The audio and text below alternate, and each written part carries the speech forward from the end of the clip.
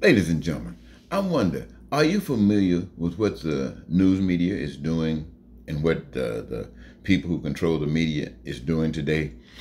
We have people who are advocating destruction of the nation's uh, democracy.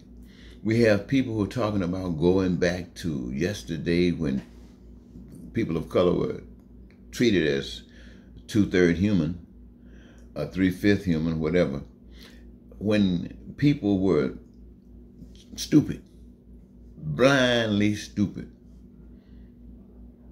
Can you believe that they are telling all kinds of lies? And they're saying it publicly. And they're spreading it across the nation. And people are acting and responding to it.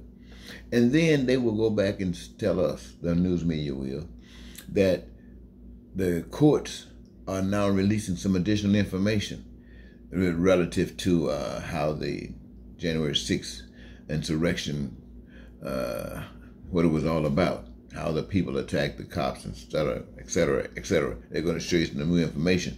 And the reason that they're going to show it is because it happened. You got a right to know. And then they're going to show it to you. And they bleep right back to the person who's talking. They didn't show you a thing. What does that say? If they say they're going to show it to you because you got a right to know, and you need to be constantly reminded because of all you are hearing are the lies, and you're not hearing anything relative to the truth, or, or, or seeing the truth right before your eyes, then the truth might become kind of null and you might kind of get away from it. Your focus is gone.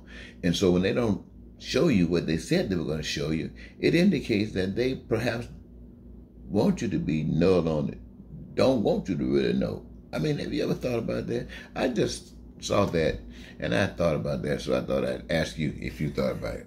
Think about it if you haven't.